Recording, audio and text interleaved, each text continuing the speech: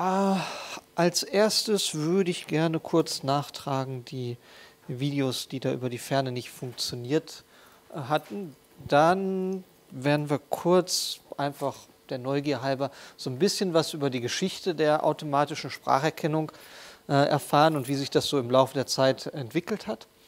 Wir werden uns dann beschäftigen mit der Wortfehlerrate als Maß dafür, mit dem man messen kann, wie gut ist so ein Spracherkennungssystem und gehen dann weiter und überlegen uns, wenn wir jetzt dieses elektrische Signal haben, das das Mikrofon gemessen hat, was machen wir jetzt damit, wie verarbeiten wir das, damit wir es dann auch wirklich für Spracherkennung einsetzen können.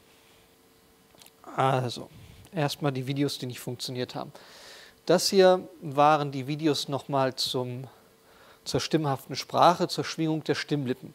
Wir erinnern uns, es gibt die Lungen aus denen wird Luft durch die Luftröhre rausgepresst und dann kommen sie hier bei den sogenannten Stimmlippen vorbei. Und wenn wir dann von oben reingucken, sehen wir, dass diese Stimmlippen durch den Luftstrom, wenn sie entsprechend angespannt sind, durch den Bernoulli-Effekt in Schwingung versetzt werden.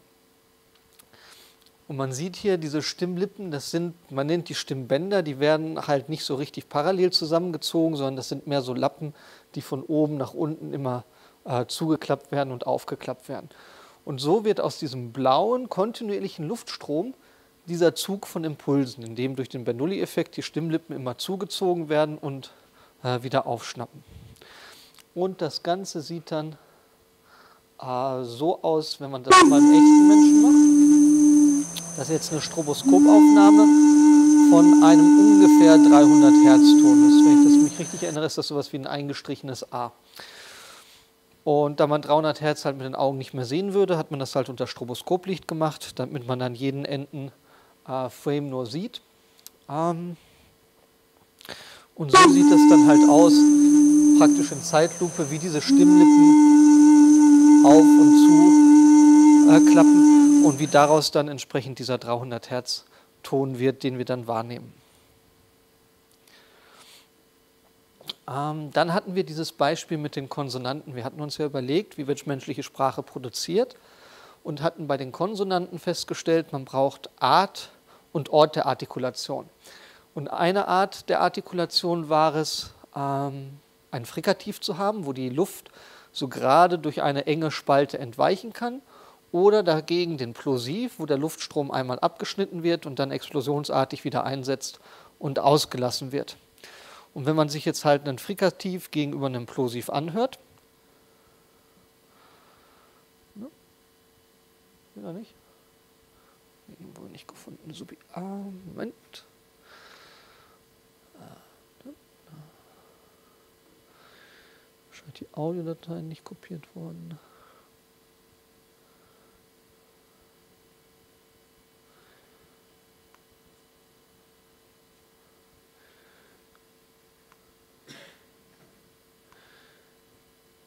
Dann klingt das einmal so.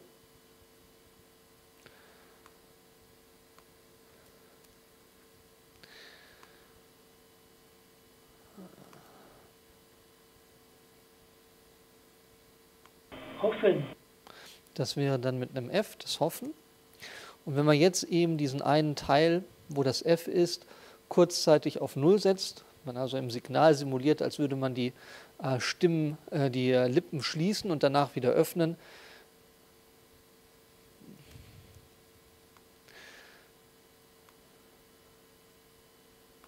Hoffen. Dann hören wir da halt entsprechenden äh, äh PF, diesen PF-Plosivlaut anstatt des äh, frikativen F-Lautes.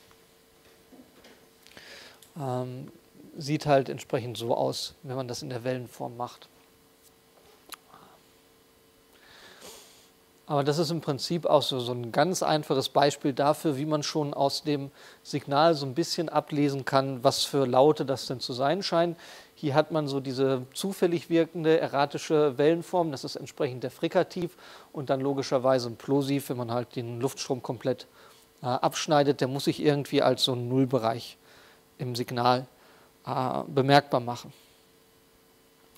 Dann hatten wir noch darüber gesprochen, wie das menschliche Gehör funktioniert und wie Frequenzen unterschiedlich wahrgenommen werden und insbesondere, dass das menschliche Hörempfinden äh, durch so psychoakustische Effekte ähm, bestimmt wird. Das heißt, unsere Wahrnehmung von Lautstärke und Frequenz entspricht nicht unbedingt den objektiven Messwerten. Also Lautstärke ist nicht gleich Schalldruckpegel, Frequenz ist nicht gleich äh, wahrgenommener äh, Tonhöhe.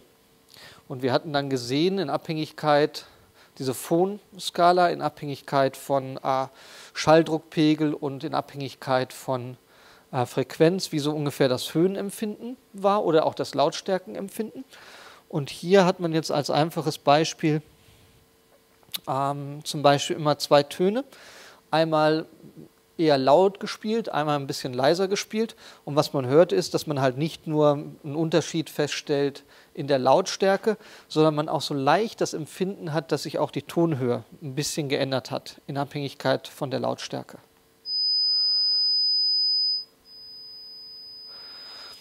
obwohl es der gleiche Ton ist, meinen wir so ungefähr äh, wahrzunehmen, dass dieser zweite, leisere Ton doch in Wirklichkeit ein bisschen äh, tiefer zu sein scheint.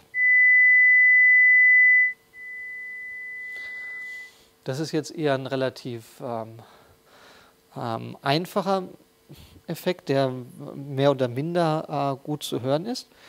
Dann hatten wir noch darüber gesprochen, ähm, wenn man jetzt Töne in zeitlicher Folge hört dann passieren auch interessante Eigenschaften.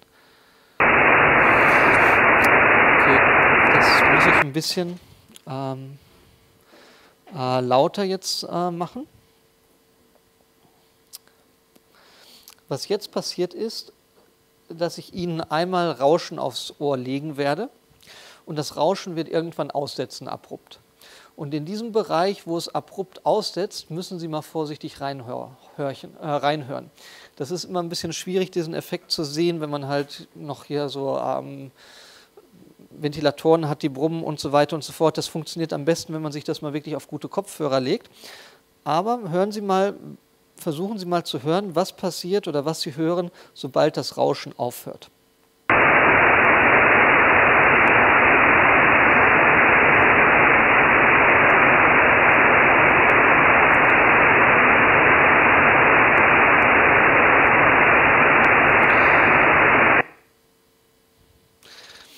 Der Effekt ist sehr leicht und sehr kurz. Jetzt probieren wir das nochmal.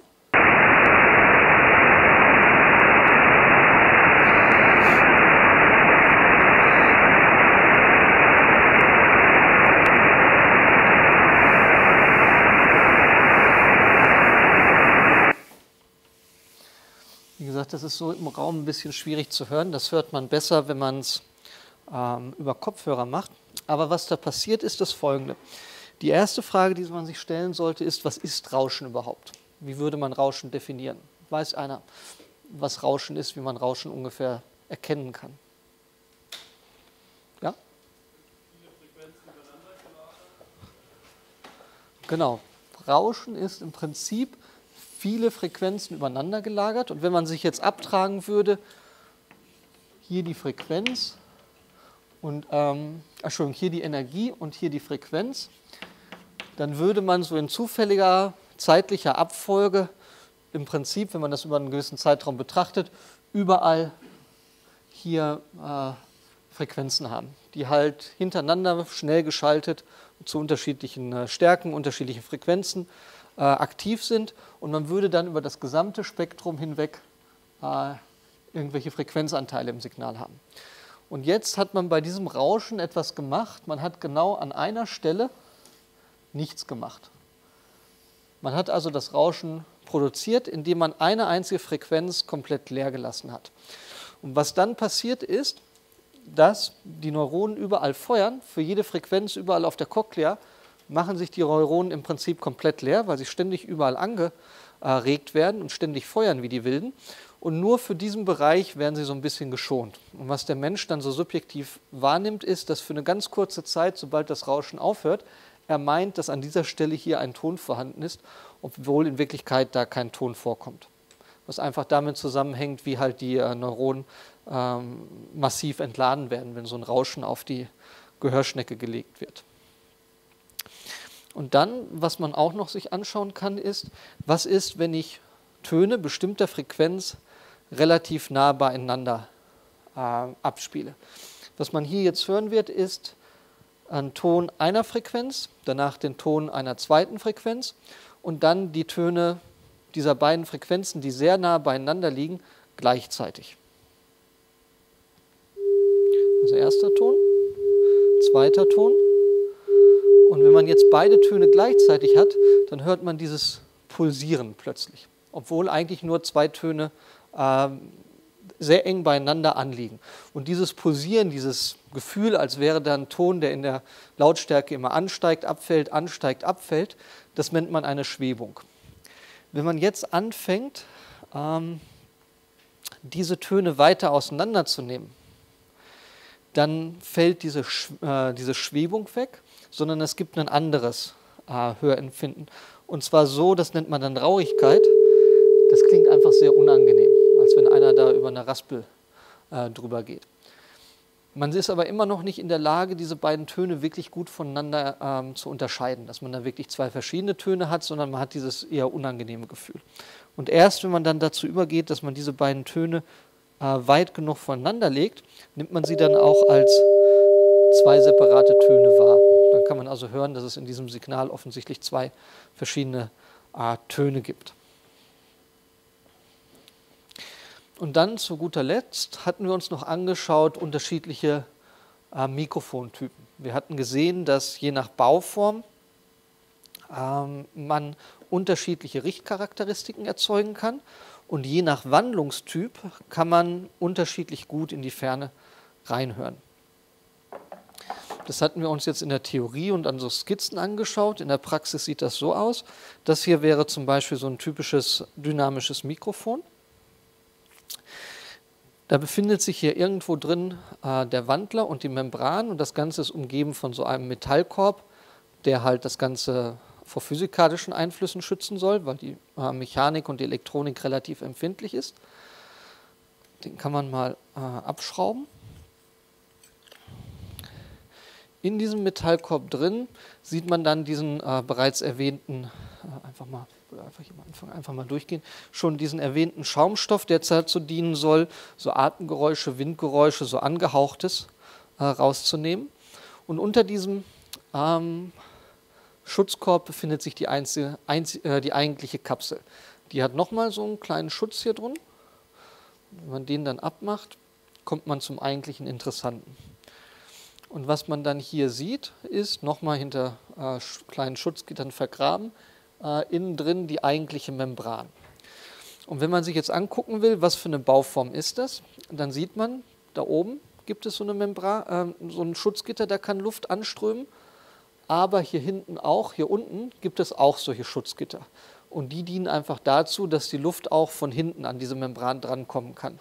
Sprich, von äh, der Bauform hier haben wir hier also einen äh, Druckgradientenempfänger, der nicht nur von vorne Schall bekommt und dann hinten eine abgeschlossene Kapsel hat, sondern wo der Schall von allen Seiten äh, drauftreffen kann auf die Membran und je nachdem, ob er von vorne kommt, eine relativ gute äh, Empfindlichkeit hat oder wenn er von der Seite kommt, halt überhaupt keine Empfindlichkeit hat.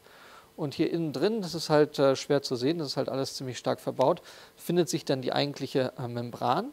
Und das Ganze selber ist als dynamisches Mikrofon ausgelöst. Das heißt, ähm, irgendwo hier innen drin gibt es auch eine kleine Spule und einen kleinen Magnet, über den äh, dann die Membran drauftaucht und dann entsprechend äh, die Spannung äh, induziert.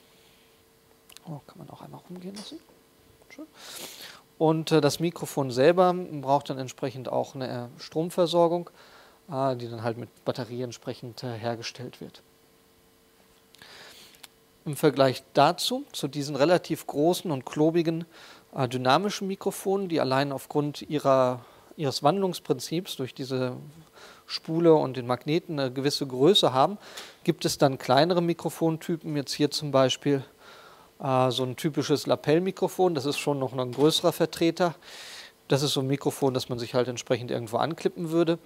Ähm, von der Bauform sieht man schon, es gibt da oben Löcher, aber hier unten ist alles zu. Das heißt, das ist also eine geschlossene Bauform mit einer äh, entsprechenden Druckkapsel, kein Druckgradientenempfänger mehr. Und von der äh, Wandlungsprinzip her, wenn man hinten aufs Typenschild guckt, sieht man halt, dass das halt ein typisches Kondensatormikrofon ist. Das heißt, hier drin gibt es dann entsprechend eine Kapsel, ähm, eine Membran, die, als, die verbunden ist mit einer äh, Kondensatorplatte, die dann hin und her geschwungen wird. Aber da sieht man halt schon gleich, dass ähm, nach hinten keine Löcher mehr drin sind. Das heißt, von der Seite her kann jetzt keine Luft mehr die Membran umströmen. Das heißt, man hat keine Druckgradientenkapsel, keinen äh, Druckgradientenempfänger mehr, sondern dann wirklich einen echten äh, Druckempfänger. Und dann das hier ist im Prinzip sowas wie da oben unter der Decke drin hängt. Das ist ein sogenanntes Grenzflächenmikrofon. Ähm, nee, da brauche ich einen Imbusschlüssel, sonst könnte ich's, kann ich es nicht aufmachen. Ähm, das ist auch als Druckkapsel, äh, als, ähm, als Druckkapsel ausgelegt, wo aber jetzt eigentlich erwartet wird, dass da eine Grenzfläche draufkommt. Das heißt, das von dem Ding erwartet man es, dass man hier eigentlich ein Loch bohren würde und dann entsprechend wie die Dinger in der Decke das Ding hier in irgendeiner Fläche versenken würde, damit dann ähm, Schall entweder die Fläche entlang äh, reisen kann und auftrifft oder auch indirekter Schall, der drauf trifft, dann wegreflektiert wird vom Mikrofon und möglichst dann nicht äh, das Mikrofon trifft. Das wäre so ein typisches Grenzflächenmikrofon. Gibt es manchmal auch schon mit Grenzfläche mit dran gebaut, dann sieht man, dann haben die halt irgendwie so eine Plastikscheibe noch mit dabei, wo sie drin stecken oder manchmal gibt es das als so Keile, die man dann flach auf den äh, Tisch legen kann, damit der Tisch dann als äh, Grenzfläche agieren kann. Und wie gesagt, je nachdem, ob ich jetzt eine, einen Druckgradienten oder Druckempfänger habe und je nachdem, ob ich ein dynamisches oder ein Kondensatormikrofon habe, bekomme ich unterschiedliche äh, Charakteristiken für die Mikrofone, äh, geeignet für unterschiedliche Einsätze. Ähm, das hier ist jetzt etwas, das wurde gemacht mit einem Sennheiser Nahbesprechungsmikrofon, das eine gewisse äh, Nierenrichtcharakteristik hat.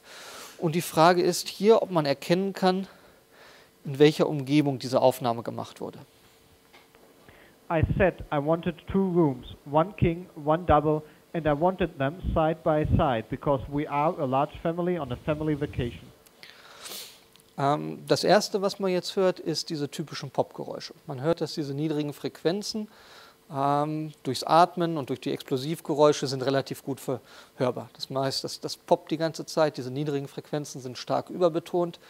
Ähm, was ist da falsch gelaufen? Popschutz war drauf, aber das Mikrofon war zu sehr im Atemstrom äh, positioniert. Das heißt, man sollte Mikrofone nicht immer so direkt möglichst vom Mund haben, sondern ein bisschen nach hinten, so im Mundwinkel, ein bisschen dahinter, damit man nicht direkt in diesem Atemstrom drin ist. Das ist das Erste, was auffällt. Kann man irgendwas hören, was so im Hintergrund abgeht? Hören kann man nichts. Jetzt ist die Frage trotzdem, geht da was im Hintergrund ab? Und wenn ja, was würde dafür sprechen, dass da irgendwas im Hintergrund äh, passiert?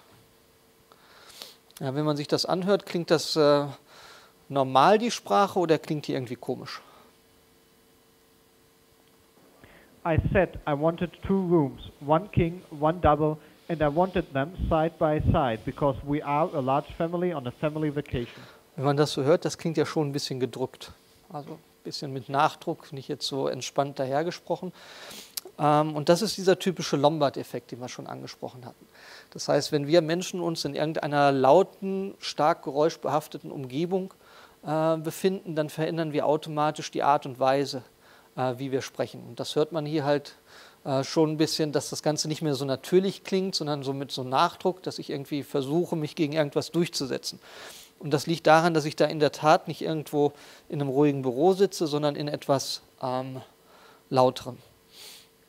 Die gleiche Aufnahme gibt es dann nochmal aufgenommen mit so einem billigen äh, Bluetooth-Headset. Das hat dann halt nicht mehr so eine schöne Richtcharakteristik, das hat dann äh, nur noch einen, äh, keinen dynamischen, sondern einen, ähm, äh, sondern einen Kondensatorempfänger. Das heißt, das Ding hier hört leider in deutlich mehr Richtungen Plus, dadurch, dass es kein dynamisches Mikrofon ist, nimmt es auch den Hintergrund besser auf. Und wenn man sich jetzt den gleichen Satz mit anderem Mikrofon nochmal anhört, kann man vielleicht schon ein bisschen mehr über den Hintergrund erraten. I said I wanted two rooms, one king, one double, and I wanted them side by side because we are a large family on a family vacation. Und da kann man schon hören, offensichtlich ist da irgendwas im Hintergrund. Ähm, diese Mikrofone sind trotzdem schon noch verhältnismäßig gut daran, den Hintergrund rauszufiltern, obwohl man merkt, das ist ähm, schon deutlich hörbarer jetzt. Ähm, kann, hat jemand erkannt, was das für ein Hintergrund ist? So ungefähr. Ja, das Ding ist ähm, sogar noch schlimmer als ein Marktplatz. Das war jetzt in der Mensa so gegen äh, 1 Uhr zur Hauptessenszeit reingesetzt. Und dafür, dass also man ringsrum von schnatternden Menschen umgeben ist, kann selbst dieses billige Mikrofon noch relativ gut die Hintergrundgeräusche ausblenden. Aber man merkt schon, wenn man wirklich eine gute Aufnahme will, wo nur die menschliche Sprache draufkommt und der Hintergrund nicht mehr, wenn man da ein bisschen ins Mikrofon investiert und dann ein dynamisches Mikrofon nimmt mit einer guten Charakteristik, kann man schon sehr viel von dem Hintergrundrauschen äh, ausblenden, ohne dass man jetzt irgendwie groß was in der, äh, in der Vorverarbeitung machen müsste. Also sprich, das ist ein häufiger Fehler, ah, Dankeschön, häufiger Fehler, dass man versucht, viel in der, äh, in der Vorverarbeitung zu machen und alle möglichen ähm, schwierigen Algorithmen anwendet, um Hintergrundrauschen rauszu, filtern. Häufig, wenn es um die direkte, direkte, konkrete Anwendung geht, reicht es manchmal einfach schon aus, äh, ein besseres Mikrofon zu nehmen. Und viele Probleme, die man hat, werden dadurch gelöst. Äh, schönes Beispiel, Kollegen von uns in Warschau haben mal etwas gemacht für das äh, polnische Parlament, ging darum, so automatisch Transkripte der Reden im polnischen Parlament zu erstellen und die hatten riesige Schwierigkeiten damit, weil die irgendeinen Ton bekommen haben, der war abgemischt aus den Sprechermikrofonen am äh, Podium plus irgendwelchen Raummikrofonen, die halt so die, die Umgebung mit aufnehmen sollten, damit, wenn man das im Fernsehen guckt, man da halt so den typischen, äh, die Umgebungsgeräusche hat und den Sprecher hört. Und äh, Spracherkennung hat natürlich nicht gut funktioniert, weil man da halt so ein gemischtes Signal hatte mit viel Hintergrundrauschen und anderen Leuten, die gesprochen haben und Klatschen und so weiter und so fort.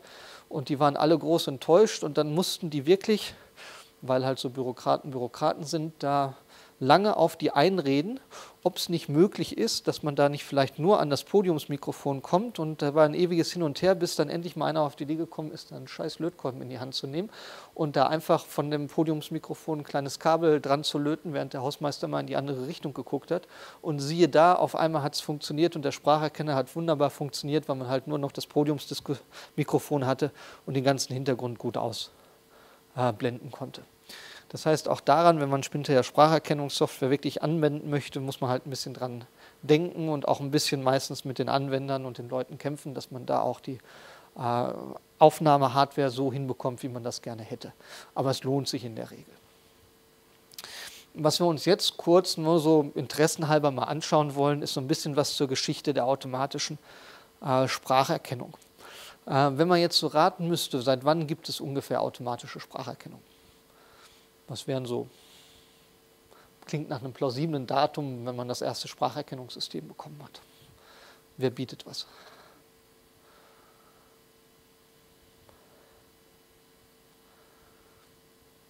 Vorschläge. Das erstes Gebot. 1974. Warum 1974 so ungefähr? Ja, also Vorhandensein vom Computer scheint schon mal eine wichtige Voraussetzung zu sein. Ähm, wer bietet weniger?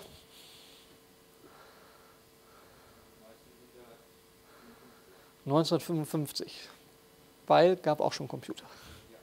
Okay. Ähm, die Antwort darauf ist natürlich ein bisschen komplizierter, ähm, plus ähm, deutlich früher, als man denkt. Man muss sich ein bisschen von der Vorstellung lösen, man braucht unbedingt einen Computer, um unbedingt Spracherkennung zu betreiben. Ähm, wenn man populistisch wäre, würde man sagen, naja, gab es ja schon im Mittelalter, Sesam öffne dich, war offensichtlich sprachgesteuertes äh, Tresor. Aber es gab auch schon, bevor es Digitalrechner gab, ähm, erste Ansätze dafür, um Spracherkennung zu betreiben. Und ich habe schon wieder vergessen, ich war jetzt drüben an der CMU und da hängt ein schöner Artikel an der Wand und ich habe wieder vergessen, den zu fotografieren, aus dem Scientific American von 1920er Jahre.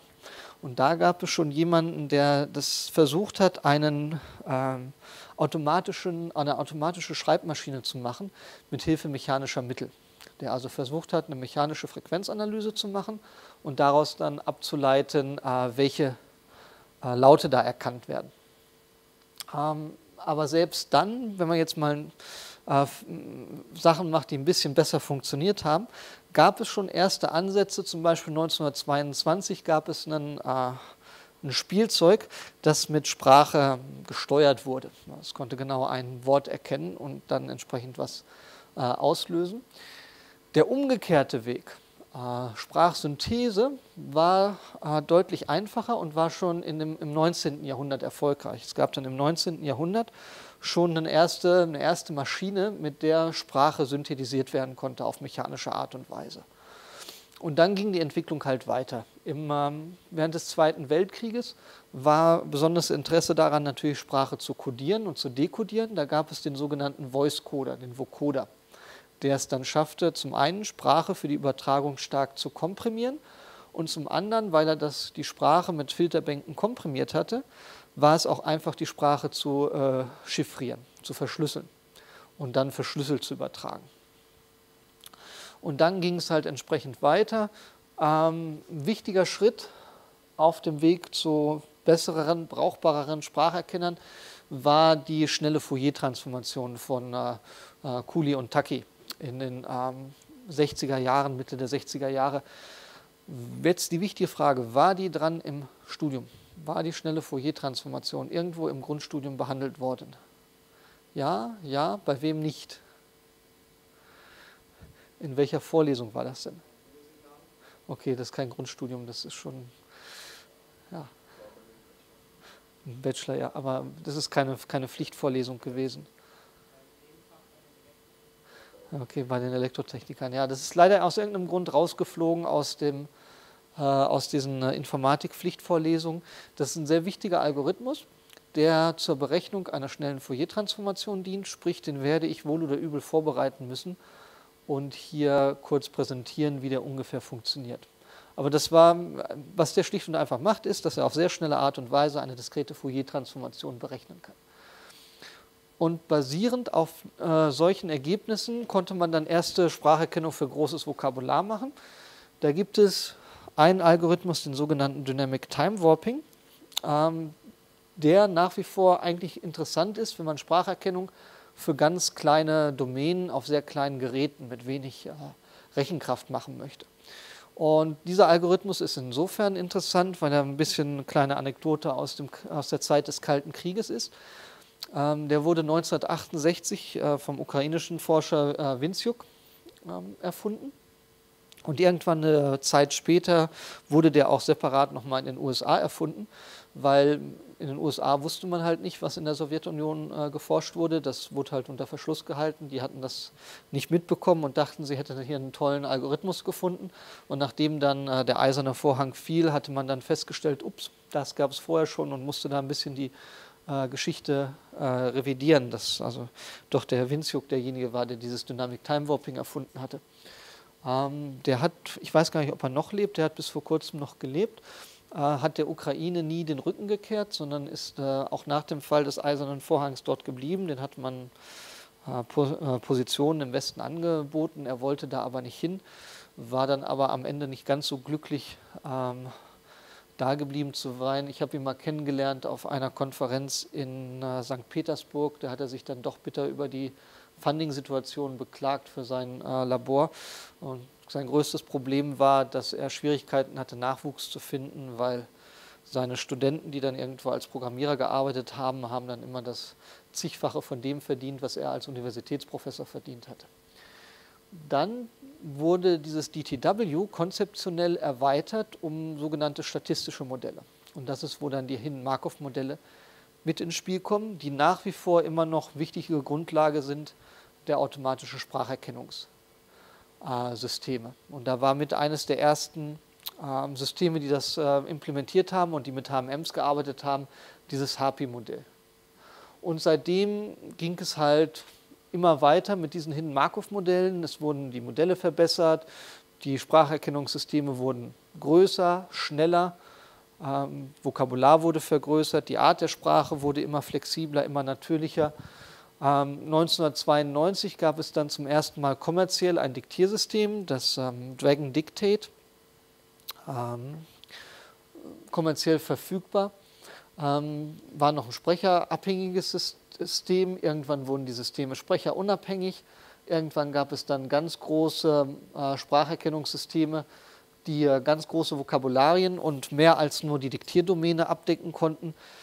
Dann ging es dazu über, dass man das kombiniert hat zu Sprachübersetzungssystemen und seitdem gab es immer ganz viele Projekte, die Sprachübersetzung und Spracherkennung für großes Vokabular gemacht haben und die Situationen und die Domänen, in denen sie eingesetzt wurden, immer komplizierter und größer machten. So sah jetzt dieser erste Sprachsynthetisierer aus. Äh, wurde in äh, Großbritannien gebaut und das Ganze ist im Großen und Ganzen sowas wie ein mechanischer Nachbau des menschlichen äh, Vokaltraktes. Man hat da oben einen äh, Blasebalg, das ist letztendlich die Lunge. Dann hatte man hier sowas wie mechanische äh, Stimmlippen und dann einen Vokaltrakt, den man entsprechend konfigurieren konnte und hatte dann äh, sowas wie eine mechanische Zunge und mechanische Lippen, die man entsprechend einstellen konnte und so äh, äh, dann die menschliche Sprache produzieren konnte, einfach den mechanischen Ablauf des menschlichen Artikulationssystems nachbilden konnte. Und das Ganze wurde halt über so eine Art Tastatur und äh, Fußpedale gesteuert, um halt den, ähm, den äh, Vokaltrakt entsprechend einzustellen. Und das Ganze war damals ein riesen äh, toller Hit. Also man konnte mit dem Ding sprechen, man konnte mit dem äh, Ding singen. Das ist die, äh, da am Klavier sozusagen, ist die Frau von dem Herrn äh, Faber. Die war da sehr geschult drin und sehr talentiert drin, äh, dieses, diesen Sprachsynthesizer zu bedienen und zu spielen. Und das war für die damalige Zeit so eine faszinierende Sache, dass eine Maschine jetzt sprechen konnte, dass die wirklich teilweise riesengroße Konzerte, die ausverkauft waren, gegeben haben mit dem Ding. Das war dann Abendunterhaltung, dass man abendlang zusehen konnte, wie diese äh, Maschine menschliche Sprache produzieren konnte. Dann hatten wir dieses von diesem sprachgesteuerten Spielzeug gehört, das war der Radio Wax. Ähm, ich habe mal das Ding sogar in Aktion gesehen. Es gibt da eine äh, Forscherin, die ähm, hat sich so zur Aufgabe gemacht, so ein bisschen ein Museum der Spracherkennungstechnologie aufzuziehen und die hatte noch so ein Original Radiorex äh, von damals. Was das Ding ist im Prinzip, man hat eine Hunde, Hundehütte, hat da den Hund drin, der heißt Rex. Ähm, der, man hat ihn dann Radio Rex genannt. Die Frage, warum Radio, war so die Zeit, wo Funkwellen aufkamen und Radio und so weiter. Das Radio klang einfach cool. Das war irgendwie so das hippe Wort von damals. Und damit er halt cool klingt, hieß er halt Radio Wax. Und was man machen konnte, der setzte halt in seiner äh, Hundehütte und wenn man Wax gerufen hat, dann kam er halt aus seiner Hunde, Hundehütte da rausgeschossen. Und das hat man halt entsprechend so gemacht. Der sitzt auf einer Feder, wird hinten mit Hilfe eines Elektromagneten zurückgehalten.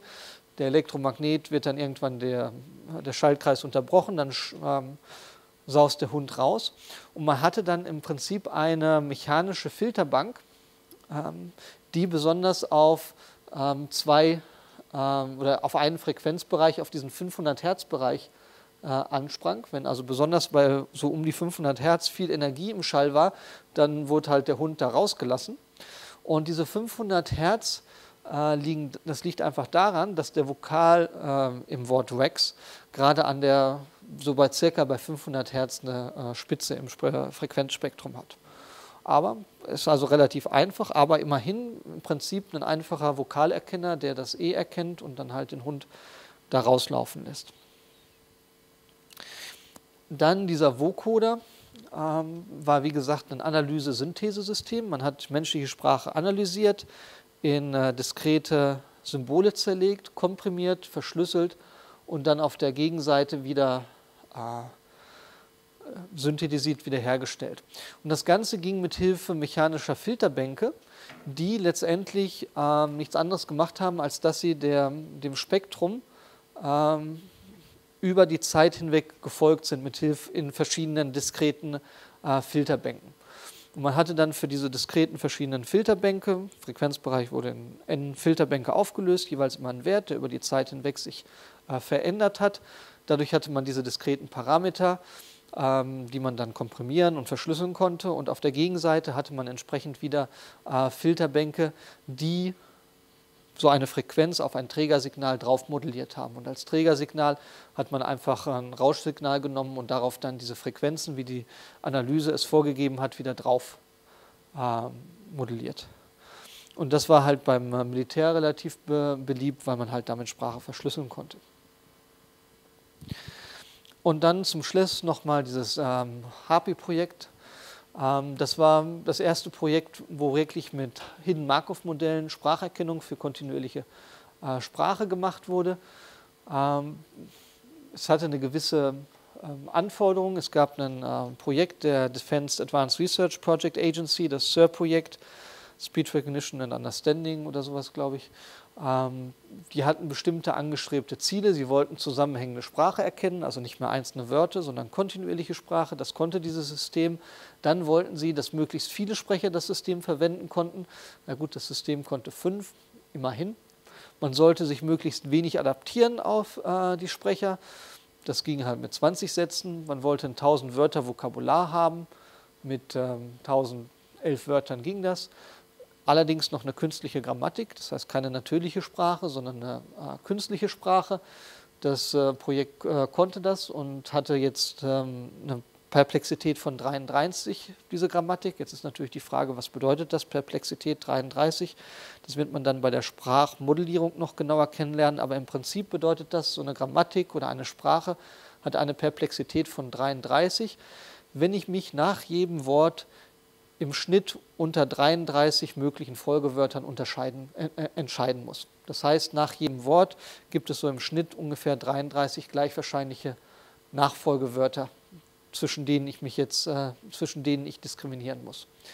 Das Ganze sollte weniger als 10% Fehler machen, hat es auch erreicht und äh, es sollte nur ein paar Mal Echtzeit auf einer 100 MIPS-Maschine laufen. Ähm, und gut, eine 100 MIPS-Maschine hatten die jetzt nicht, die hatten eine 4 MIPS-Maschine und da hat es einen Echtzeitfaktor äh, von 8 gehabt. Das heißt, wenn man jetzt eine 100 MIPS Maschine hätte, wäre es ungefähr ein paar Mal Echtzeit gelaufen. Also auch erreicht. Jetzt aus der Tabelle ergibt sich schon eine gute Frage. Man hat gesagt, das System soll weniger als 10% Fehler machen. Was heißt das denn? Ein Spracherkennungssystem macht so und so viel Prozent Fehler. Und um angeben zu können, um messen zu können, wie viele Fehler ein Spracherkennungssystem macht, verwendet man die sogenannte Wortfehlerrate. Die Idee dahinter ist, menschliche Sprache, was hätte erkannt werden sollen, ist bei menschlicher Sprache eindeutig. Wenn ich also einen Satz höre, dann kann ich als Mensch niederschreiben, was hat der Mensch gesagt. Und das ist das, was auch die Maschine hätte erkennen sollen. Das ist ein Riesenvorteil gegenüber anderen Aufgaben wie zum Beispiel maschinelle Übersetzung. Bei maschinelle Übersetzung habe ich für einen Eingabesatz nicht eine eindeutige Übersetzung. Es gibt viele verschiedene mögliche Übersetzungen. Äh, deswegen ist es schwierig, da automatisch zu messen, wie gut jetzt eine maschinelle Übersetzung wäre. Beim Spracherkennender haben wir dieses grundlegende Problem nicht.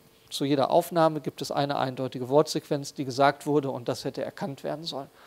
Und was man jetzt macht, ist, dass man diese menschlich erstellte Referenz von dem, was hätte erkannt werden sollen, dem, was der Spracherkenner direkt erkannt hat, gegenüberstellt. Und das, was der Spracherkenner erkannt hat, das nennt man die Hypothese des Spracherkenners. Das ist das, von dem er denkt, was gesagt wurde. Und wenn man jetzt ähm, ASR-Hypothese und menschliche Referenz gegenüberstellt, dann berechnet man zwischen diesen beiden Wortfolgen die minimale Editierdistanz, die man braucht, um die eine Wortfolge in die andere Wortfolge äh, überführen zu können.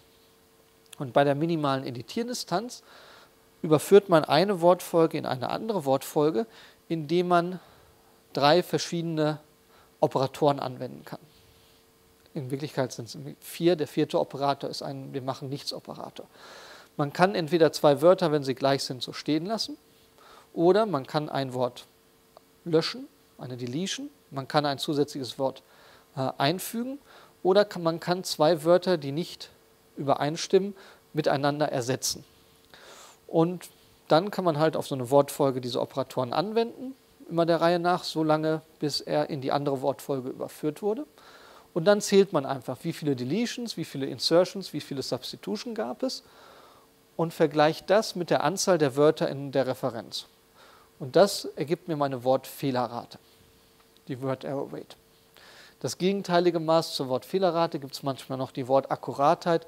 Das ist dann entsprechend 100% minus äh, Wortfehlerrate. Jetzt ist die Frage, wie berechnet man diese minimale Editierdistanz? Wenn ich das richtig verstanden habe, minimale Editierdistanz wird in den Informatik-Algorithmik-Vorlesungen nicht mehr gemacht, oder? Hattet ihr? Nein, minimale Editierdistanz wird äh, nicht mehr gemacht aus irgendeinem Grund. Die minimale Editierdistanz nennt man auch Levenstein-Distanz. Und wie gesagt, es dient dazu, um eine Symbolkette in eine andere Symbolkette zu überführen, indem man halt diese ähm, Operatoren anwendet, Wort einfügen oder Symbol einfügen, Symbol löschen äh, und äh, Symbole miteinander ersetzen. Und da sucht man jetzt unter allen möglichen äh, Operationsfolgen diejenige mit der geringsten Anzahl an Operationen. Und das Ganze äh, ist dann die, ähm, äh, gibt einem eine Distanz vor, die minimale Editierdistanz. Man kann auch zeigen, dass das Ganze eine Metrik ist im Raum aller möglichen äh, Symbolfolgen. Und die Frage ist natürlich, wie kann ich das jetzt äh, finden? Wie kann ich unter allen möglichen Sequ Operationssequenzen, die ich anwenden kann, um so zwei Symbolketten zu überführen, wie kann ich die finden mit der geringsten Anzahl an Operatoren? Und das Ganze geht schön mit Hilfe von dynamischem Programmieren. Ähm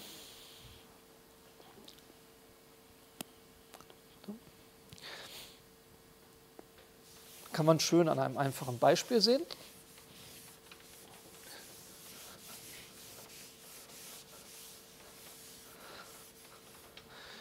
Wir nehmen uns einfach zwei Wort- oder Symbolfolgen her.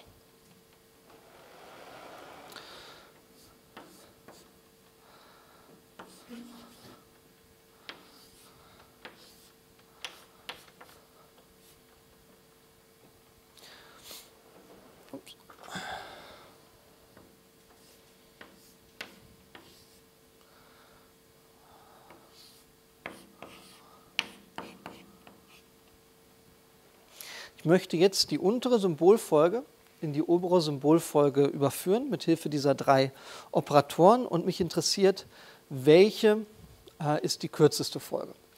Und das Ganze kann man relativ schön ähm, rekursiv sich hinschreiben. Um es einfach zu machen, macht man sich in der Regel noch ein Hilfssymbol, so eine Art Wortanfangs- oder Wort. Äh, Wortstartsymbol, das bei allen Wortketten gleich ist. Und um dieses Symbol in das andere Symbol zu überführen, brauche ich nichts zu machen. Das ist ein Match, brauche ich keine Operation. Und dann kann ich jetzt hier diese Felder der Matrix anfangen auszufüllen. Und vom, um von einem Feld zu einem anderen Feld zu kommen, entspricht das Ganze jeweils immer einer Operation. Wenn ich zum Beispiel jetzt hier waagerecht gehe und ich überführe diese Wortfolge in diese Wortfolge, wenn ich hier waagerecht gehe, dann brauche ich so ein Symbol auf. Sprich, wenn ich diesen Schritt mache, dann habe ich dieses Symbol aufgebraucht, bin hier aber nochmal im Epsilon-Symbol. Das heißt, durch so einen waagerechten Schritt habe ich dieses a gelöscht. Eine Löschung kostet mich eine Operation, habe ich eine Operation gemacht. Gehe ich immer weiter, lösche ich entsprechend immer weiter. Kommen immer mehr Löscheoperationen hinzu. Habe am Ende fünf Löscheoperationen gemacht, habe die gesamte Symbolkette aufgebraucht und habe hier noch rein gar nichts von der eigentlichen Zielsymbolkette ähm, ausgegeben. Das heißt, wenn ich zum Beispiel hier unten in der Zelle bin, dann bin ich offensichtlich mit meinem Algorithmus noch nicht fertig. Da werde ich noch was machen müssen. Genauso, wenn ich in die Richtung gehe. Wenn ich so einen Schritt mache, von dem Epsilon zu dem A, dann habe ich von dieser Symbolkette noch nichts aufgebraucht, habe aber hier schon mal ein A generiert. Das ist dann eine Einfügung. Einfügung. Kostet mich wieder einen Schritt.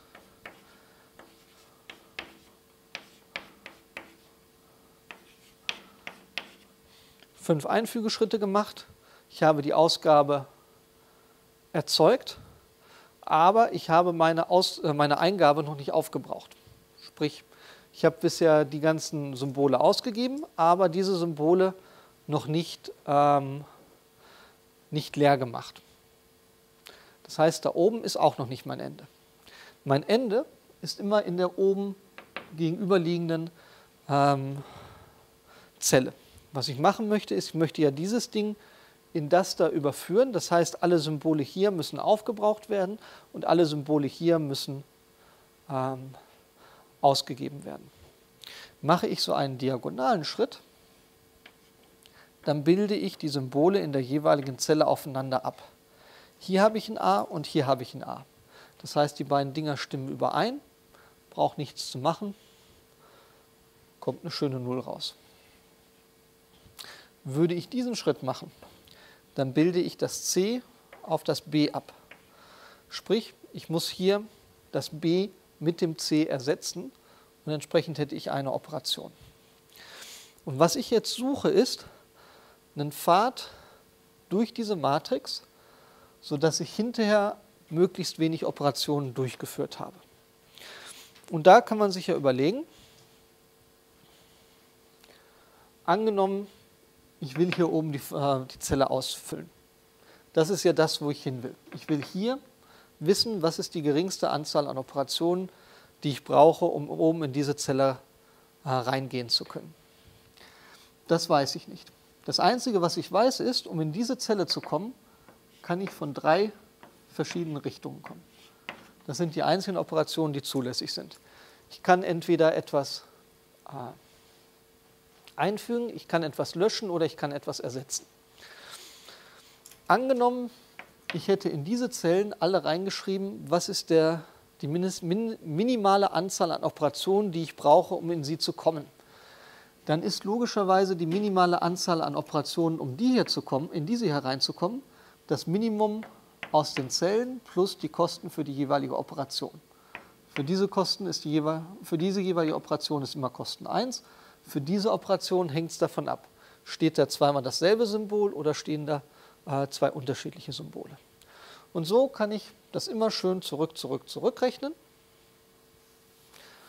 und kann dann Spalte für Spalte diese Matrix ausfüllen.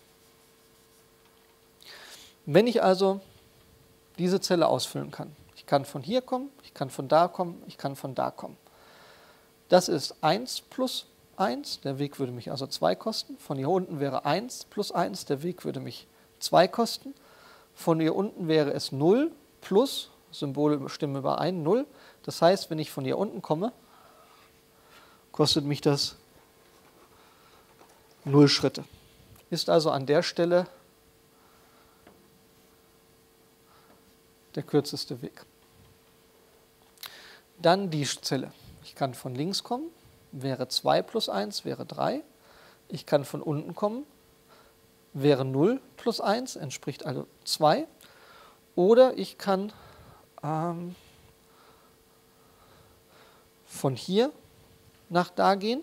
Das wäre 1 plus a und c sind ungleich, also 1 plus 1 wäre auch 2. Das heißt, der kleinste Wert, der hier drin stehen kann, wäre 1. Ich komme von der 0 und gehe nach oben. Und so geht es weiter. Ich kann das Ding anfüllen, ich kann entweder von links kommen, wäre 4, ich kann von unten kommen, wäre Kosten 2, ich kann von hier kommen, wäre Kosten 3, das heißt Kosten 2 wäre das Minimum. Und so auf die Art und Weise fülle ich halt die gesamten Spalten aus, bis ich hier oben angekommen bin und kann dann anhand der blauen Zeiger, wenn ich sie mir merke, wo ich hergekommen bin, nicht nur wissen, was ist die minimale Anzahl an Editierschritten, die ich machen muss, um das eine in das andere zu überführen, sondern auch noch, welchen Weg bin ich gekommen. Offensichtlich hat dieser Algorithmus quadratischen Aufwand, weil ich muss n mal m, also Länge einer Symbolsequenz mal Länge anderer Symbolsequenz, Zellen ausfüllen plus für jede Zelle muss ich eine konstante Anzahl an Operationen durchführen, weil ich halt immer aus drei verschiedenen Richtungen kommen kann und muss, von, muss alle drei Operationen einmal ausführen, damit ich hinterher weiß, welches war das Minimum, das bei rauskommt, sodass ich dann Aufwand O von n mal m habe. Ähm, einfaches Beispiel, wenn man das Ganze auf Wörter macht. Wenn man sowas hat wie Hallo Herr Freitag, wie geht es Ihnen? Hallo Frau Freitag und wie geht es?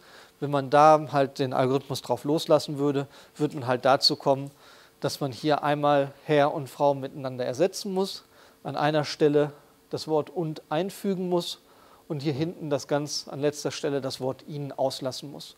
Und dann hat man eine Ersetzung, eine Einfügung, eine Auslassung, ergibt drei Fehler. In der Referenz gibt es insgesamt sieben Wörter hat man eine Wortfehlerrate von drei Siebteln mit äh, bekommen. Die Wortfehlerrate hat so ein paar Eigenschaften. Das ist die Frage, kann die Wortfehlerrate größer als 100% sein? Warum?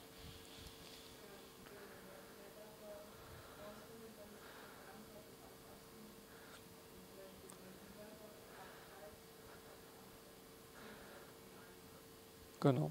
Also wenn ich ganz, ganz, angenommen die Referenz ist zwei Worte lang, ich gebe 100 Mal das Wort, irgendein Wort aus, dann muss ich mindestens 98 Wörter löschen, damit ich wieder auf meine zwei Wörter runterkomme. Das heißt, ich kann sehr, sehr große äh, Wortfehlerraten produzieren. Kann die Wortfehlerrate negativ werden? Warum nicht? Genau. Editierdistanz ist minimal äh, null. Im idealen Fall wird alles aufeinander abgebildet. Ähm, hatte oben im Zähler eine Null stehen, also keine negative Wortfehlerrate. Dann ist dieser Weg eindeutig durch die Matrix oder kann die Wortfehlerrate mit unterschiedlichen Zusammensetzungen aus Einfügungen, Auslassungen und Ersetzungen entstehen.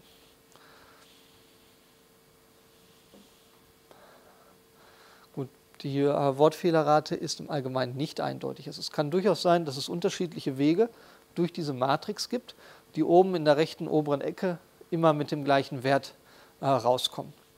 Ein ganz einfaches Beispiel, was man sich vorstellen kann, ist, wenn man bei der Erkennung zwei Wörter miteinander vertauscht in der Reihenfolge. Dann kann man entweder eine Substitution, eine Insertion und eine Deletion machen oder man kann es umgekehrt machen. Das heißt also, die Zusammensetzung muss nicht, ist nicht immer eindeutig. Wir hatten jetzt schon gesagt, mit der Wortfehlerrate haben wir ein sehr schönes, automatisch berechenbares, objektives Maß für die Güte eines Spracherkennungssystems. Aber die Wortfehlerrate hat auch ein paar äh, Nachteile. Ein Nachteil zum Beispiel ist, dass die Strafe, wenn ich zwei Wörter miteinander verwechselt habe, immer gleich sind. Ob ich jetzt das Wort Haus und Maus miteinander verwechsel oder das Wort Haus und äh, Tür, gibt es immer die gleiche Strafe.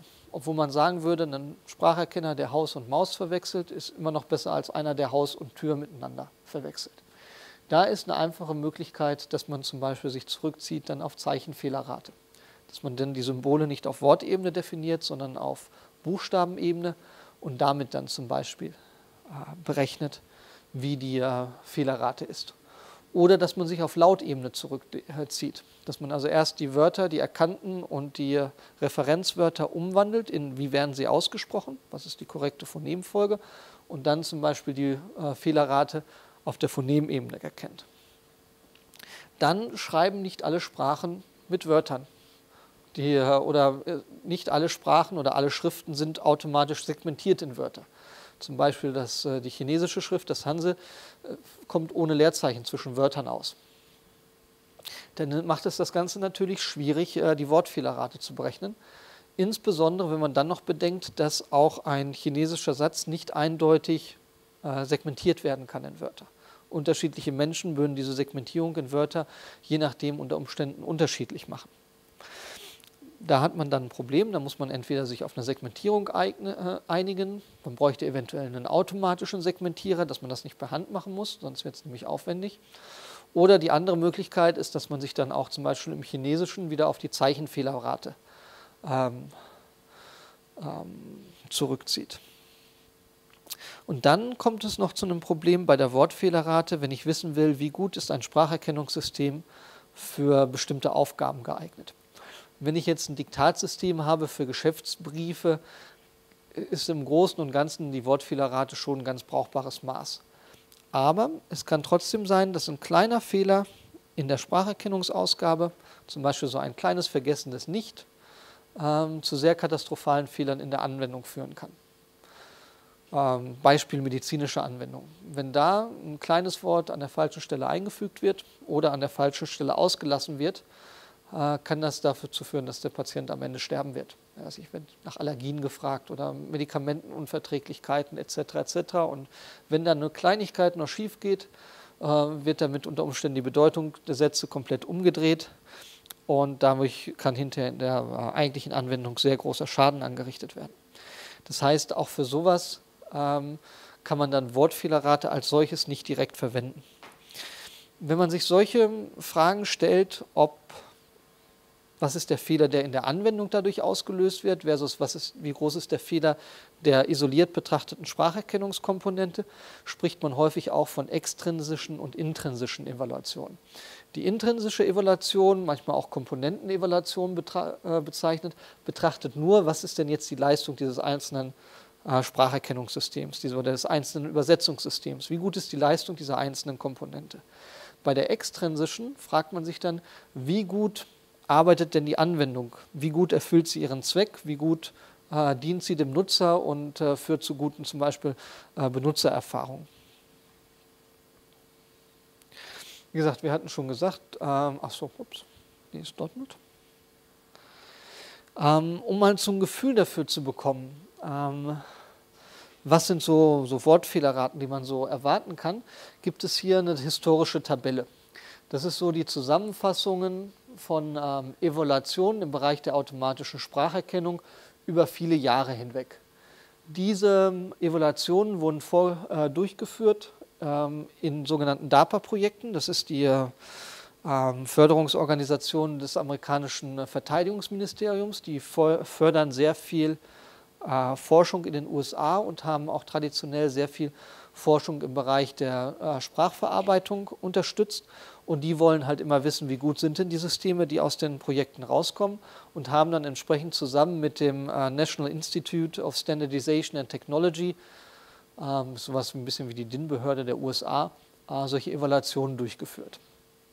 Und da hat man jetzt hier mal so über die Jahre hinweg aufgetragen für unterschiedliche Projekte, unterschiedliche Erkennungsaufgaben, was waren denn das so für Wortfehlerraten.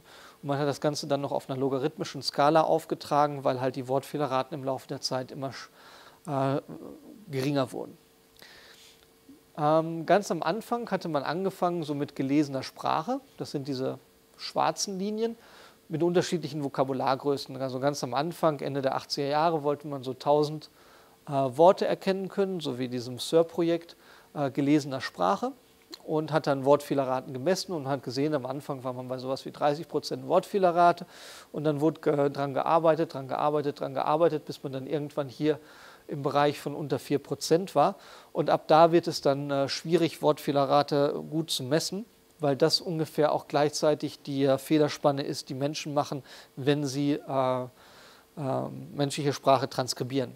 Das heißt, an der Stelle, wenn die Wortfehlerrate sagt, hier ist ein Fehler, dann ist, kann man sich nicht mehr sicher sein, ist das jetzt vom Menschen falsch transkribiert worden, ist die Referenz falsch und der Spracherkenner hat recht oder hat der Spracherkenner doch Unrecht und es ist in der Tat ein Fehler.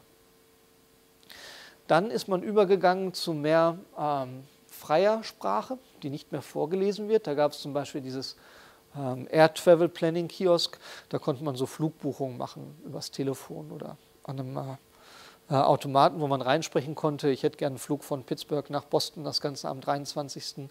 Äh, um 3 Uhr nachmittags, sowas in der Richtung. Und da wieder das gleiche Muster. Man fängt irgendwo oben bei hohen Wortfehlerraten an und dann wird lange daran gearbeitet und irgendwann ist man bei akzeptablen Wortfehlerraten. Und so hat man bei gelesener Sprache dann auch irgendwann immer das Vokabular äh, größer und größer gemacht, bis das dann irgendwann langweilig wurde. Dann ist man dazu übergegangen, bei gelesener Sprache mal die Mikrofone äh, zu variieren. Bisher alles mit Nahbesprechungsmikrofonen. Dann nehmen wir nochmal entfernte Mikrofone, wo auch äh, Rauschen oder Hintergrundgeräusche äh, mit dabei sind. Und ruck die Zupp ist die Wortfehlerrate wieder um Größenordnung nach oben geschnellt. Dann gelesene Sprache ist natürlich langweilig. Gelesene Sprache ist ja nicht mal diktierte Sprache. Man, wo gibt es eine Anwendung, wo einer schon geschriebenen Text vorliest und der soll dann erkannt werden? Das ist ja Quatsch, der Text ist ja schon geschrieben. Also ist man dann dazu übergegangen, zum Beispiel Telefongespräche zu äh, transkribieren oder allgemein Unterhaltungen. Und das sind so diese roten Linien. Das ist der sogenannte Switchboard-Korpus. Äh, Switchboard deshalb, was man gemacht hat, ist, man hat äh, Teilnehmer gefunden bei der Datensammlung. Die durften irgendwo eine Telefonnummer anrufen und wurden dann mit irgendjemand anderes anderen Teilnehmer verbunden und dann wurde noch vorgegeben, unterhaltet euch jetzt mal über das Wetter, über das letzte Fußballspiel und so weiter. Die haben sich dann am Telefon da entsprechend drüber unterhalten und das sollte dann versucht werden zu erkennen. Und da hat man gesehen, ganz am Anfang, obwohl man schon gelesene Sprache sehr, sehr gut eigentlich erkennen konnte, ähm, im Prinzip kam Mist raus. Also alles, was ein System, das irgendwie 100% Wortfehlerrate oder sogar mehr als 100% Wortfehlerrate ausgibt, äh, ist immer schlechter als kein System. Weil 100% Wortfehlerrate kriege ich immer, ich brauche einfach nichts auszugeben, äh, kriege ich immer ein Wort, äh, Spracherkennungssystem mit 100% Wortfehlerrate. Das heißt, wenn ich da oben eins raushole mit 90, 95% Wortfehlerrate, dann ist das nicht viel besser, als wenn ich nichts tue. Und da hatte man halt gemerkt, oh, Conversational Speech, so unterhaltene Sprache, ist halt deutlich schwieriger und hat dann lange Zeit daran gearbeitet und ist dann mit den Wortfehlerraten wieder runtergekommen. Aber man stellt schon fest, man kommt jetzt nicht mehr in den Bereich von diesen äh, gelesenen Sprachen. Dann hat man auch noch mal variiert. Das eine ist, sind so Landline-Phones, also Festnetztelefone, und dann ist man irgendwann mal äh, übergegangen zu ähm, Mobiltelefonen und hat dann festgestellt, ja, das wird dann schon ein bisschen schwieriger, hängt äh, mit den Kodierungen zusammen und noch weiteren Störgeräuschen, die man auf der Leitung hat. Parallel zu solchen Telefongesprächen und Unterhaltungen hat man sich auch mal Fernsehsendungen angeschaut. Das hat den Vorteil, die sind, haben zwar ein großes Vokabular, aber sind sehr sauber aufgenommen in hoher Qualität und haben häufig, wenn man so die Nachrichtensprecher sich anschaut, sehr äh, gut trainierte Sprecher, die sehr deutlich äh, sprechen. Und dann hat er angefangen, das zu verschriften und man sieht, dass man da halt deutlich besser geworden ist und deutlich weiter mitgekommen ist, als das bei äh, diesen Telefonunterhaltungen gekommen sind. Sodass man da auch irgendwann mal in den Bereich reingekommen ist, wo man ähm, unter 10% Wortfehlerrate kommt und dann ist man meistens schon recht zufrieden mit einem Spracherkennungssystem. Dann fängt es wirklich an, da wirklich sehr äh, brauchbar zu werden. Ähm, das Ganze hat man dann variiert das sind dann diese äh, Vierecke mit den Kreuzen drin, indem man sich die Laufzeit angeschaut hat. Weil was die Teilnehmer bei den Evaluationen halt immer gemacht haben, sie haben halt darauf gepfiffen, wie lange das System gebraucht hat, um das Audio zu dekodieren. So diese besten äh, Systeme, die dann teilgenommen haben, zum Beispiel bei diesem Switchboard-Task äh, etc., wenn die eine Stunde Audio reinbekommen haben, um das zu transkribieren, dann konnten die 80 Stunden, 180 Stunden, 300 Stunden problemlos äh, daran rechnen, um halt das möglichst beste Ergebnis irgendwie noch rauszuquetschen. Also ist man da hingegangen und hat gesagt, okay, ich begrenze die Laufzeit, damit das nicht einfach nur noch in brutales Rechnen ausartet und hat gesagt, ich will einmal einfache Echtzeit haben und will einmal zehnfache Echtzeit haben. Und diese einfache Echtzeit sind diese Sternchen und die zehnfache Echtzeit sind diese ähm, Kästchen. Und da sieht man, wenn man von unendlicher Rechenzeit hin zu zehnfacher Echtzeit kommt, dann verliert man schon ein bisschen was. Vor allem, wenn man bedenkt, dass das eine logarithmische Skala ist, das merkt man schon deutlich. Und wenn man dann zu einfacher Echtzeit übergeht, dann sieht man, ist hier der Abstand doch äh, schon deutlich bemerkbar. Bis hierhin war alles immer Englisch. War halt amerikanisches Militär hat das äh, ähm, finanziert, die ähm, amerikanische Normierungsbehörde hat evaluiert, wurde alles auf Englisch gemacht. Und dann hat man sich irgendwann mal die Frage gestellt, ja, und was ist, wenn ich jetzt andere Sprachen mir anschaue? Dann ist man da oben zu diesen nicht englischen Conversational Speech Sachen gekommen und hat festgestellt, ups, die Performance wird gleich auf einmal wieder auf einen Schlag deutlich äh, schlechter. Hat im Großen und Ganzen zwei Gründe. Erstens, unterschiedliche Sprachen sind unterschiedlich leicht oder schwer zu erkennen. Und unglücklicherweise ist es so, dass Englisch eine der einfacheren Sprachen ist. Also Englisch zu erkennen ist verhältnismäßig einfach im Vergleich zu anderen Sprachen. Das heißt, man hat jetzt sehr lange Zeit auf einer Sprache gearbeitet und optimiert, die inhärent schon mal relativ einfach ist. Das heißt, man war eigentlich über, übermäßig optimistisch, was so die Leistung der Spracherkennungssysteme angeht. Und zum anderen, wenn ich halt über Jahrzehnte lang immer nur auf Englisch arbeite.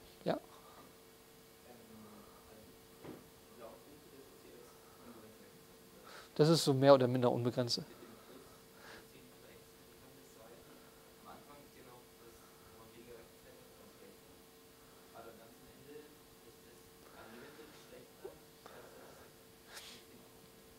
Es kann ähm, mehrere Gründe haben.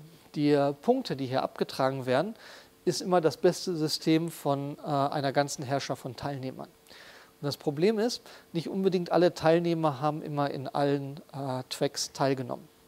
Das kann also sein, dass zum Beispiel dieser runde Blob von jemandem produziert wurde, ähm, der halt hier das beste Ergebnis gemacht hatte aber das Sternchen wurde von jemandem anderem produziert, der halt ein super einfaches Echtzeit- oder zehnfaches Echtzeit-Spracherkennungssystem hat. Aber der hat gesagt, weil das schon so toll und super ist, dann nimmt er jetzt hier in der unendlichen Rechenzeit gar nicht mehr erstmal teil. Das heißt, wenn der hier da teilgenommen hätte, hätte theoretisch der auch nochmal einen Blob produzieren können, der hier unten weiter äh, gewesen wäre. Und das andere, was man sieht, sowas dürfte ja eigentlich auch nicht vorkommen dass also über die Zeiten hinweg die Wortfehlerraten wieder schlimmer werden. Da hätte man ja eigentlich das System von letztem Jahr sozusagen nehmen können, um besser zu werden. Da, was daran solche Grund ist, die Wortfehlerrate wird durch mehrere Effekte bestimmt. Das eine, wie gut ist mein System? Und das andere ist, welches ist denn im Augenblick der Testset? Ist der Testset jetzt besonders schwierig oder besonders leicht? In der Theorie, optimalerweise sollte es so sein, dass so ein Testset, auf dem die Wortfehlerrate gemessen ist, 100% äh, repräsentativ für den Task ist. Das ist der absolute Durchschnitt äh, von dem Task und die Wortfehlerrate, die ich dann messe, ist die Wortfehlerrate, die ich im langjährigen Durchschnitt auf so einem Task erreichen würde. In der Praxis ist so ein Ding natürlich hochgradig individuell. Das heißt, ähm, sind meistens so zwei Stunden und wenn ich halt aus Versehen zwei Stunden mal schwierige Daten erwischt habe, dann wird halt die Wortfehlerrate automatisch, automatisch ansteigen gegenüber äh, zwei Stunden vielleicht jetzt gerade eher einfachere Sprache erwischt.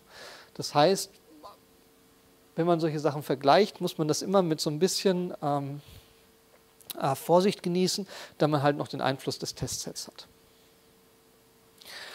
Ähm, richtig, genau. Also man hatte festgestellt, andere Sprachen sind schon mal deutlich schwieriger. Zum einen, weil halt Sprachen inhärent manchmal schwieriger sind. Zum anderen hat man jetzt jahrzehntelang auf Englisch optimiert und hat dann super englische Aussprachewörterbücher und die ganzen Parameter auf Englisch optimiert und die funktionieren dann nicht unbedingt immer am besten für fremde Sprachen. Plus, diese Systeme werden ja auch auf Trainingsdaten trainiert. Das heißt, da gibt es dann englische Trainingsdaten, die von Hand transkribiert wurden, auf denen werden trainiert, da werden die Parameter der Spracherkennungssysteme angepasst und dann werden im Laufe der Jahrzehnte da hunderte von Stunden englischer Sprache gesammelt. Die habe ich natürlich nicht in anderen Sprachen. Wenn da nicht auch jahrzehntelang Sprache gesammelt wurde, habe ich plötzlich viel weniger Trainingsdaten. Und das macht es dann für die fremden Sprachen, die jetzt nicht Englisch sind, auch nochmal deutlich schwieriger. Und dann ist man irgendwann dazu übergegangen, von diesen Broadcast News hinwegzugehen zu noch äh, schwieriger Sprache und das sind dann die sogenannten Meetings. Man ist dann hinhergegangen und hat dann so Besprechungen, fünf Leute sitzen um einen Tisch herum, aufgenommen und angefangen, die äh, zu transkribieren. Und das Ganze dann mit unterschiedlichen Mikrofonen. Da gibt es einmal die runden lila Punkte mit Individual Head-Mounted Microphones. Sprich, das sind so Bügelmikrofone, die am Kopf getragen wurden. Dann sogenannte Multiple Distant Microphones.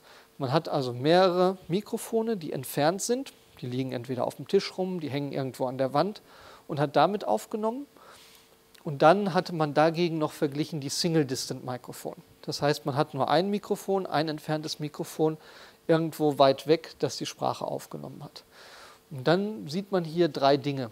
Das erste, Meetings selbst wenn ich ein Nahbesprechungsmikrofon habe, ist nochmal deutlich schwieriger als zum Beispiel Broadcast News oder auch noch deutlicher, auch noch ein bisschen schwieriger als zum Beispiel so Telefonunterhaltung. Dann, wenn ich das Mikrofon wegnehme, bin ich da oben bei den lila äh, Quadraten. Dann wird es katastrophal schlimmer. Also das ist ein logarithmischer Abfall. Das ist dann sowas hier wie 20 Prozent auf 40, 60 Prozent, die ich schlechter werde in der Wortfehlerrate. Ich verdreifache effektiv meine Wortfehlerrate, dadurch, dass ich das Mikrofon vom Sprecher wegnehme und irgendwo hinten an die Wand äh, dran tue. Und dann war halt die Idee, okay, da kann man ja mit Signalverarbeitung was machen, dann nehmen wir nicht ein entferntes Mikrofon, sondern 64 entfernte Mikrofone. Wird hinten an die Wand so ein Array von 64 entfernten Mikrofonen äh, ähm, genagelt und dann wird halt mit Signalverarbeitung ein Beam geformt, der halt in die Richtung des Sprechers hört und so weiter und so fort. Oder man hat halt Mikrofone, die liegen dann so verstreut auf dem Tisch und die kann man dann geschickt miteinander kombinieren, um halt die äh, Sprache äh, besser hören zu können, besser darstellen zu können, hoffentlich besser erkennen zu können. Und da hat man ganz komplizierte, die ungemein schwierige äh, Signalverarbeitungsverfahren gemacht, also Riesenaufwand getrieben und man ist von da nach da gekommen. Das heißt, ganz großer Aufwand und am Ende bringt es gerade mal vernachlässigbar weniger. Wenn man stattdessen halt dem Sprecher einfach das Mikrofon antackert, dann hat man einen unendlich viel größeren äh, Gewinn. Und das Ganze ist natürlich ein bisschen äh, frustrierend. Und diese ähm, Linien werden jetzt halt in den letzten Jahren weiter fortgeführt, allerdings nicht so sehr mehr auf Spracherkennung und Wortfehlerraten, sondern mehr getrieben durch Anwendungen. Und äh, durch neue Techniken ist man halt dann, kommt man aber trotzdem immer dazu, dass die Wortfehlerraten weiterhin auf den einzelnen Tasks immer noch über die Zeit hinweg fallen. So ein Muster, das man da immer sieht, ist, man fängt einen neuen Task an, die Wortfehlerraten sind fürchterlich. Dann sind da zehn Forschungslabore auf der gesamten Welt, die arbeiten wie die Weltmeister dran und äh, rudeln, äh, rödeln da dran rum und nudeln ihre, äh, das durch ihre Rechner durch und die Wortfehlerraten fallen, bis man irgendwann in einen interessanten Bereich kommt und dann geht das Ganze wieder von vorne los. Und hier hat man zum ersten Mal einen Task erwischt, wo man auch nach langer Zeit dran arbeiten immer noch nicht zufrieden mit dem Ergebnis war. Und das ist nach wie vor ein aktiver Task, wo man immer noch sich überlegt, wie kann ich die Sachen besser machen, ähm, damit ich zu Spracherkennungssystemen komme, die ich dann hinterher auch in wirklichen echten Anwendungen anwenden kann. Gut, so viel zum Thema Wortfehlerrate. Wir stehen jetzt immer noch vor der Herausforderung. Wir haben die Schallwelle aufgenommen mit dem ähm, Mikrofon und wollen darauf jetzt Erkennung betreiben. Und das geht halt auf dem eigentlichen Sprachsignal sehr schlecht.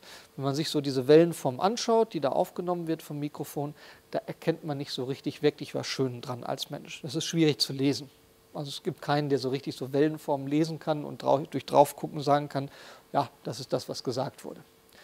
Und das ist schon ein guter Hinweis dafür, dass das für die Maschine auch sehr schwierig sein dürfte. Deswegen ist eines der ersten Dinge, um die wir uns jetzt kümmern müssen, wenn wir Spracherkennung betreiben wollen, wie kann ich das Signal geeignet äh, vorverarbeiten. Und da gibt es halt so ein paar Werkzeuge aus dem Bereich der digitalen Signalverarbeitung, die für uns da gut geeignet sind und die wir dann so geeignet zusammenstellen können, dass wir zu einer Signalvorverarbeitung kommen, zu einer Trans äh, Transformation des Signals, die dann hinterher besonders geeignet ist äh, für die Spracherkennung. Und dazu werden wir uns halt beschäftigen mit Systemen. Wir werden uns nochmal die Dirac-Stöße anschauen, damit dann wieder nochmal die Faltung, für die Faltung dann die Impulsantwort, damit wir halt Systeme beschreiben können.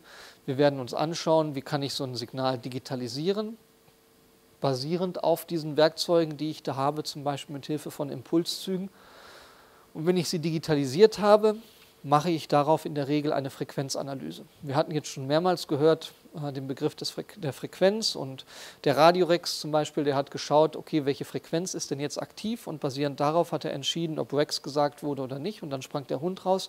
Dann scheint es wohl so zu sein, dass das Wissen darüber, welche Frequenzen in dem Signal sind, aus welchen Frequenzen das Signal zusammengesetzt ist, gut geeignet ist für die automatische Spracherkennung und werden dann entsprechend uns halt diese Frequenzanalyse Analyse mit Hilfe von Fourier-Transformationen, diskreten Fourier-Transformationen entsprechend anschauen. Und das sind so die Grundlagen, die man braucht, um daraus dann hinterher eine Pipeline zusammenzustellen, die vom elektrischen Signal hin bis hin zu den Merkmalen geht, mit deren Hilfe wir dann Spracherkennung machen. Die Frage ist, wozu äh, Signalvorverarbeitung? Die Frage hatten wir mal in einer äh, Klausur kognitive Systeme gestellt und die Anfra Antworten, die wir dann teilweise bekommen haben, waren ja, das Ziel der Signalvorverarbeitung ist, die Fourier-Transformierte zu berechnen. Nee, das kann nicht das Ziel sein. Wir machen ja nicht die Fourier-Transformation der Fourier-Transformation willen. Wir haben da eine bestimmte Absicht dahinter. Da steckt ja ein bestimmtes Ziel dahinter, was wir machen wollen. Und was wir machen wollen, ist im Prinzip Informationen, die wichtig sind für die Klassifikation, die müssen betont werden und Informationen, die unwichtig sind für die Klassifikation, die sollen rausgefiltert werden, die sollen äh, rausgeworfen werden. Und wenn ich noch redundante Informationen habe, will ich die entsprechend auch rauswerfen. Ähm, das Rauswerfen der redundanten Informationen dient einfach dazu, dass ich die Datenrate äh, reduzieren möchte. Wenn ich eine hohe Ra Datenrate habe, die reinkommt in die Klassifikation, dann kann ich mir vorstellen, dass ich bei der Spracherkennung dann auch sehr viel Rechenzeit brauche, um diese, dieses hohe Datenvolumen, das da reinkommt, ähm, verarbeiten zu können. Wenn ich da Redundanz drin habe und ich die Redundanz rauswerfe, dann kann ich dieses hohe Datenvolumen natürlich auch mit weniger Rechenaufwand bearbeiten. Sprich, mein Spracherkenner wird schneller, ich kann das Ergebnis schneller produzieren. Genau das gleiche für unwichtige Informationen. Wenn sie unwichtig sind, im äh, besten Fall tun sie nicht weh, im schlimmsten Fall verwirren sie und sorgen halt dafür, dass ich äh, äh, hohe Rechenzeit äh, brauche. Und wenn ich die relevanten Informationen einfach nur noch extrahiere, dann kann ich an, hoffentlich anhand der relevanten Informationen eine gute Klassifikation vornehmen. Was sind jetzt relevante Informationen? Naja, das kann man sich am besten dadurch erklären, was sind, indem man sich anschaut, was sind unwichtige Informationen. Zum Beispiel wollen wir, dass das Spracherkennungssystem sprecherunabhängig ist. Das heißt, alle Anteile im Signal, die irgendwie mit der Sprecheridentität zu tun haben, die auf die Sprecherabhängigkeit des Signals hinweisen, die sollten wahrscheinlich rausfliegen. Was wäre so absolut typisches, einfaches, ähm, einfache ähm, Anteil des Signals, ein einfaches Merkmal des Signals, der sehr, sehr, sehr sprecherabhängig ist? wenn ich mir die Schallwelle anschaue oder anhöre? Was ist so eine Eigenschaft, die offensichtlich sehr, sehr, sehr sprecherabhängig ist und mich deshalb gar nicht mehr interessieren sollte? Genau. Und wie hatten wir das genannt korrekt beim Menschen? Es ist nicht die Tonhöhe, sondern welche Höhe welches Tons? Des Grundtons, der Grundfrequenz. Das heißt also, die Grundfrequenz das heißt, die Frequenz, mit der die Stimmlippen schwingen, ist eigentlich uninteressant. Was ist das einzige Interessante über die Stimmlippen? Mit welcher Frequenz die Stimmen schwingen oder, was will ich, muss ich über die wissen, wenn ich mir Phoneme anschaue?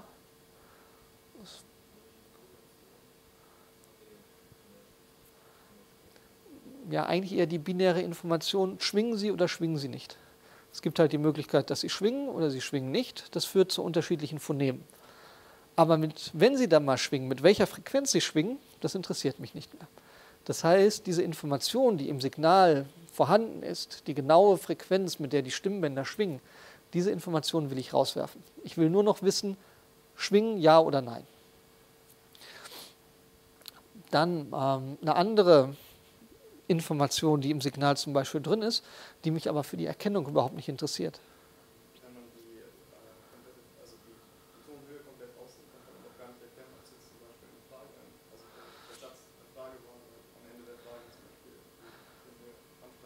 Das stimmt, aber will ich auch gar nicht.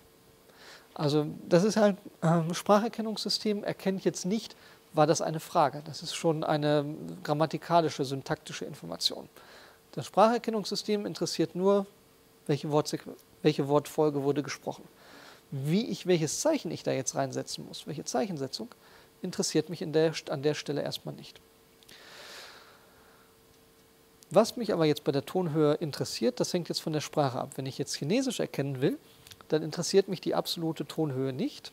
Mich interessiert aber der Verlauf der Tonhöhe. Dann will ich wissen, war es einer dieser fünf Töne. An der Stelle reicht dann sozusagen diese binäre Information, schwingen die Stimmbänder ja oder nein, nicht. Aber das ist jetzt mal ein Sonderfall, den lassen wir erstmal zur Seite. Für, für, für die meisten Sprachen interessiert uns im Prinzip nur schwingen ja oder nein.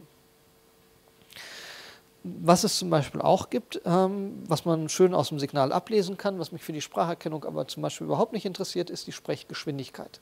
Ob jetzt eine Wortfolge langsam oder schnell gesprochen wird, ist eine Information, die interessiert mich nicht. Mich interessiert nur die Information, die mir sagt, war es die Wortfolge oder die Wortfolge. Ob die jetzt schnell oder langsam gesprochen wurde, soll keinen Unterschied mehr machen in den Merkmalen, die rauskommt. Das heißt, ich werde auch irgendwie eine Vorverarbeitung brauchen, die vielleicht mit unterschiedlich schneller äh, Gesprächsgeschwindigkeit zurechtströmt. Ähm, ob ich laut oder leise spreche, ist auch so eine typische Information, die mich eigentlich nicht interessiert. Ob ich jetzt sehr laut eine Wortfolge spreche oder sehr leise eine Wortfolge spreche, der Spracherkenner soll nach wie vor dieselbe Wortfolge ausgeben. Sprich, idealerweise würden da auch immer dieselben äh, Merkmale vorne aus der Spracherkennung, äh, aus der Vorverarbeitung rauspurzeln, damit dann der Spracherkenner sagen kann, es war die oder die Wortfolge. Genauso alle Informationen über den Raum, wie zum Beispiel der Hall, interessiert mich nicht, sollte, dürfte mich nicht interessieren. Ob ich eine Wortfolge in eine, im Badezimmer spreche, im Hörsaal spreche, draußen im Freien spreche, idealerweise sollten immer die gleichen Merkmale rauskommen. Welche Art von Mikrofon ich verwende, sollte idealerweise auch keinen Unterschied machen. Ob ich jetzt Nahbesprechungsmikrofon, entferntes Mikrofon, dynamisches Kondensatormikrofon verwende, im Idealfall würde hinten immer wieder die gleiche Merkmalsfolge rauskommen. Unglücklicherweise kennen wir nicht die ideale Vorverarbeitung. Wir kennen eine Vorverarbeitung oder verschiedene Arten von Vorverarbeitung, die manche dieser ähm, Eigenschaften erfüllen, manche dieser Informationen rausfiltern. Zum Beispiel kann man die Lautstärke sehr gut rausnehmen. Es gibt Vorverarbeitungen, die sind inhärent Lautstärken normiert. Die Grundfrequenz rauszunehmen, die genaue Position der Grundfrequenz, ist schon etwas, das ist deutlich, deutlich schwieriger. Das gelingt uns so ungefähr. Kann man ungefähr rausbringen, aber so richtig wunderschön kann man das zum Beispiel noch nicht machen. Und was unterschiedliche Mikrofone angeht, da haben wir noch nichts gefunden, was da wirklich hilft. Wenn wir unterschiedliche Mikrofone verwenden, kommen unterschiedliche Vorverarbeitungsergebnisse raus. Da sind wir leider noch sehr, äh, tappen wir noch im Dunkeln. Und das Gleiche gilt auch zum Beispiel bei Räumen. Wir haben auch keine Vorverarbeitung, die jetzt uns jeden Raum, den es auf der Welt gibt, auf einen einzigen Standardraum zum Beispiel abbildet. Um jetzt ein bisschen mit der Vorverarbeitung umgehen zu können, werden wir uns dann ab nächster Woche den Begriff des Systems ein bisschen anschauen. Hier an dieser Stelle nur schon mal eine Vorwarnung. Wenn man über Vorverarbeitung spricht und man sich so die einzelnen Techniken der Vorverarbeitung anschaut, dann sieht man häufig in den Lehrbüchern und auch hier bei uns in der Vorlesung einen Mischmasch aus kontinuierlichen Methoden und diskreten Methoden. In der Mathematik ist es häufig sehr schön darstellbar, was mit dem Signal passiert, wenn man so tut, als hätte man ein kontinuierliches analoges Signal und dann kann man darauf bestimmte Transformationen, Anwendungen, Faltungen, Integrale etc. etc. In der Wirklichkeit arbeiten wir natürlich mit einem diskreten Rechner. Sprich, das Signal, das wir da verarbeiten, ist kein kontinuierliches Signal. In der Regel arbeiten wir nicht mit symbolisch, wir kennen also keine symbolische kontinuierliche Repräsentation des Signals im Rechner und wir arbeiten dann auch nicht mit symbolischen Verfahren darauf, sondern was wir in Wirklichkeit haben, ist ein diskretes Signal, das heißt irgendwie eine Zahlenfolge, eine Folge diskreter Zahlen und mit dieser diskreten Zahlenfolge müssen wir dann arbeiten. Das heißt, wir arbeiten dann zum Beispiel nicht mit echten Integralen, auch wenn man dann mal in der Formel irgendwas mit Integralen zeigt, sondern das werden immer irgendwelche endlichen Summen sein. Ähm, noch schlimmer, selbst wenn wir mit diskreten Zahlenfolgen arbeiten, wir arbeiten im Rechner nicht mit diskreten Zahlenfolgen, sondern die Zahlenfolgen, mit denen wir da arbeiten, die sind auch noch äh, quantisiert. Ich kann nicht unendlich viele beliebige Zahlen im Rechner darstellen, sondern das sind irgendwelche äh, Quantisierungsstufen mit denen ich da im Rechner rechne. Und die vernachlässigt man bei hier bei der Mathematik, die wir betreiben, komplett voll letztendlich. Also wird gar nicht mehr betrachtet. In der Wirklichkeit spielt das natürlich auch noch mit rein und macht unsere Vorverarbeitung ungenauer. Das, was wir da im Rechner errechnen, entspricht nicht der Wirklichkeit. Wir machen da Fehler. Und das sind so Fehler, die ignorieren wir, obwohl sie uns in Wirklichkeit trotzdem hin und wieder in die Suppe spucken und bei der Vorverarbeitung einiges kaputt machen und manchmal zu unschönen Nebeneffekten führen. Aber das schauen wir uns dann ab äh, Mittwoch an, wenn wir uns dann um Systeme und diskrete Systeme, zeitinvariante Systeme, lineare Systeme kümmern. Wie kann ich ein System beschreiben mithilfe der Impulsantwort etc. etc. Gut, da machen wir nächste Woche dann weiter.